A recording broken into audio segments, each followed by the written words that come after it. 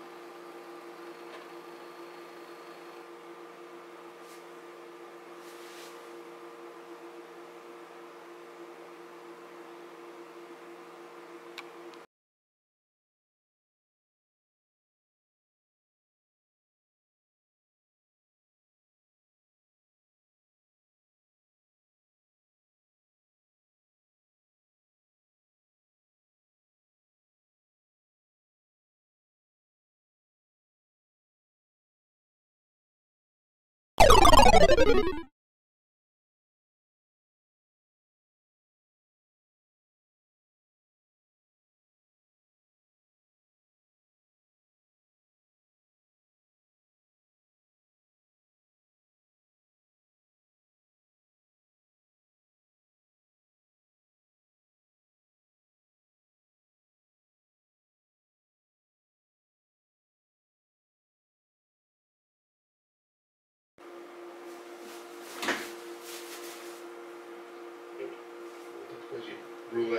chance of this frame ending in a re-rack because I don't think Marco can take any undue risks.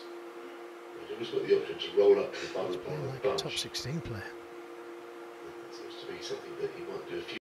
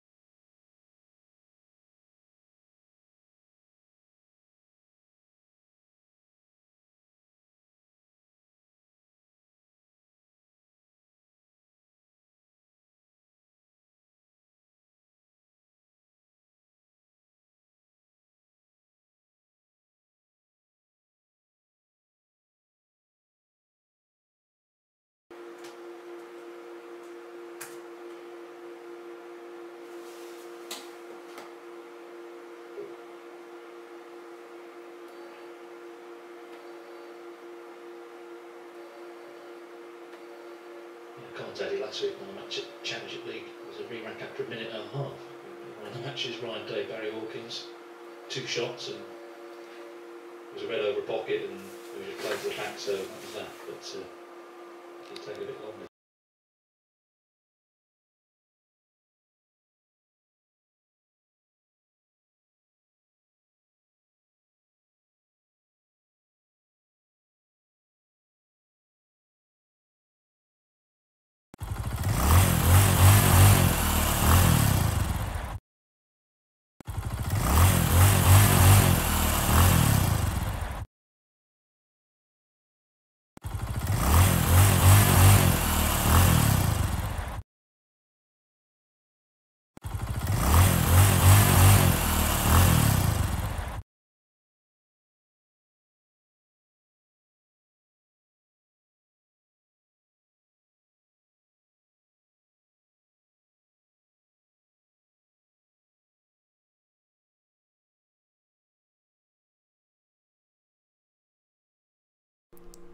I hope you've enjoyed this. Uh, hopefully it's been really interesting. I've shown how to connect a Raspberry Pi with a stepper motor driver, a rotary encoder, using a breadboard to control a NEMA 17 stepper motor.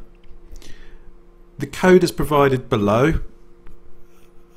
Feel free to modify it, adjust any values. I particularly think that it's worth adjusting the delay. Um, you can see they list, it's listed under the variables, the delay and the steps. Also, the um, steps times counter in the for loop, um, that's worth adjusting and playing around with. I found that the rotary encoder had more slip, for want of a better word. It slipped um, and was less accurate um, with the Raspberry Pi than it was with the Arduino. Now that's not a criticism of the Raspberry Pi, um, it's just uh, a feature. I hope um, I hope you like this video. It took quite a lot of work to make, so um, please subscribe and uh, I'll, I'll, make some more in the future.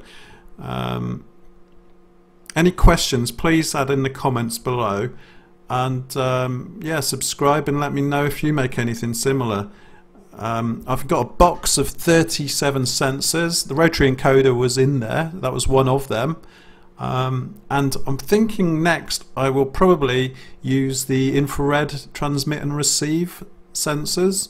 And um, I'm back with the Raspberry Pi now. Some of you may may or may not like the Arduino tutorials but I'm going to um, make my next two or three tutorials or videos with the Raspberry Pi and I'm still buying bits for my CNC project and um, I'll be updating uh, that as uh, as I get on with it.